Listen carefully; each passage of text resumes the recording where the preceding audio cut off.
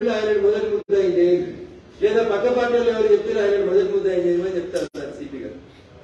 మరి నాకున్న ఇరవై ఇరవై ఐదు సంవత్సరాలు ముప్పై సంవత్సరాలు నా వకాలతులో ఎవరు కత్తితో పడిస్తాడో వాడే మొదటి ముద్ద అవుతాడు తప్ప ఆయనకు సహకరించినోడు పొడిచినాక గేట్ బయట మోటార్ సైకిల్ పెట్టుకొని ఎక్కించకపోయినోడు వీడు మొదటి ముద్ద అవుతాడని నేను ఎప్పుడు కూడా చదవలేదు చట్టం.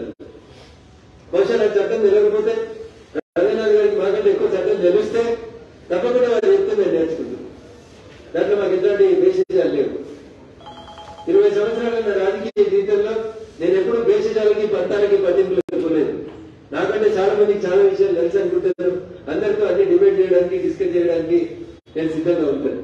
కానీ మీరు చేసినటువంటి పని వల్ల మీరు వాడినటువంటి కుట్ర అనే పదం వల్లనే చాలా స్పష్టంగా అర్థమవుతుంది.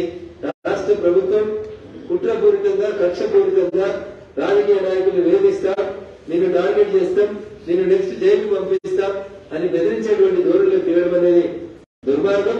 నిజంగా వరంగల్ సిపి గారికి డాక్టర్ బిఆర్ అంబేద్కర్ రాసినటువంటి రాజ్యాంగం మీద భారతీయ శిక్షా స్మృతి ఇండియన్ పీజల్ కోడ్ సిఆర్పిసి మీద పూర్తి విశ్వాసంతో మీరు పనిచేస్తారనే మాటని సమాజానికి మీరు చెప్పదలుచుకుంటే మై క్వశ్చన్ ఇస్ తొమ్మిది ముప్పై ఏడు నిమిషాలకి ఫోటో తీసినటువంటి శివ గణేశన్ గారి ఫోన్ నుంచి ఎంత మందికి ఈ ఫోటో పోయింది ఫోన్ పోయింది ఈ పేపర్ పోయింది ముందు వాళ్ళందరినీ మేము ముద్దాయిగా చేసిన.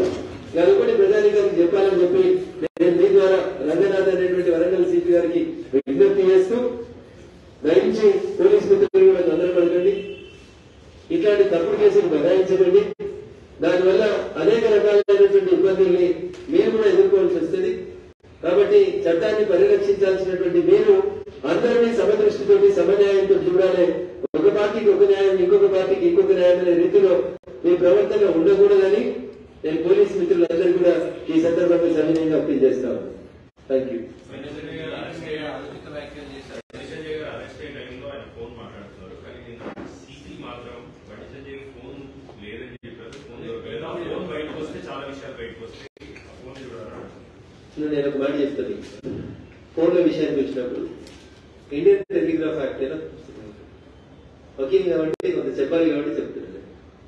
భారతదేశంలో చాలా మందికి ఫ్యాషన్ అయిపోయింది ఎస్ఐ గారు పోయి సీడీఆర్ పెట్టిండు చెప్తాడు ఎస్ఐకి సీడీఆర్ పెట్టే అధికారం లేదు.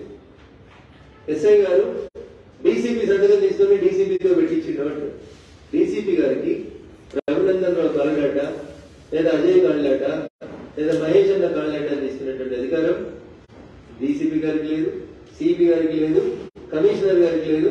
అసలు ఈ దేశంలో భారత రాజ్యాంగం భారతీయ శిక్షా స్మృతి ఇండియన్ పీనల్ కోడ్ సిఆర్పిసి చదువుకుంటే చాలా స్పష్టంగా తెలుస్తుంది. చాలా మంది పోలీస్ ఆఫీసర్లు కూడా నా ఈ లైవ్ చూస్తున్నారని section ninety two of CrPC police మిత్రులనే ఇప్పటిదాకా మిమ్మల్ని ఏ వకీలు అడిగుండడు. నేను అడుగుతున్నాను చూడు. మా మిత్రులు మీడియా మిత్రులు చూడాలి. It should be debatable issue section ninety two of CrPC ఏం చెప్తుందంటే ఎవరికి సంబంధించిన సమాచారం అన్నా కావాలని కోరుకున్నప్పుడు దీన్ని మళ్ళీ నేను ఇండియన్ టెలిగ్రాఫ్ యాక్ట్తో జోడించి section five Indian telegraph act ఏం చెప్తుందో చూడమని చెప్తూ మీరేం చెప్తారు? మేము పోలీసులు మాకు అన్ని పవర్లు ఉన్నాయి. మేము ఏదైనా చేయగలుగుతాం అనుకుంటున్నటువంటి పోలీస్ అధికారులారా దయించి మీరు పోలీస్ స్టేషన్ వెళ్ళి వెంటనే లేదా మీ మొబైల్లో గూగుల్ యాప్ ఓపెన్ చేసి సెక్షన్ నైన్టీ టూ సిఆర్పిసి చదవండి ఒకసారి. సందర్భం రాలేదు కాబట్టి నేను కూడా అడగలేదు. కేవలం సందర్భం వచ్చింది కాబట్టి అడుగుతుంది section ninety two CrPC sub clause one ఏం చెప్తుందంటే ఏదైనా ఒక జిల్లా న్యాయమూర్తి మాత్రమే దానికి అనుమతి ఇవ్వాలని ఉంది. మనం ఏం చేస్తాం? మర్డర్ కేసు అయింది. సీడీఆర్ పెడతాం బాగు దొంగతనం అయింది. సీడీఆర్ పెడతాం అసలు ఒక వ్యక్తికి సంబంధించినటువంటి సీడీఆర్ గాని ఒక వ్యక్తికి సంబంధించిన ఫోన్ సమాచారాన్ని గాని సేకరించేటువంటి అధికారం సేకరించాలని భావించడం పోలీసులు కోరుకుంటే అప్పుడు మీరు వెళ్ళి ఒక జిల్లా స్థాయిలో ఉన్నటువంటి డిస్ట్రిక్ట్ సెషన్ జడ్జి దగ్గర ఒక దరఖాస్తు పెడితే ఆ జడ్జి గారు అనుమతించినప్పుడు మాత్రమే సర్వీస్ ప్రొవైడర్లు కూడా నేను ఈ సందర్భంగా ఒక సూచన చేయదలుచుకున్నాను.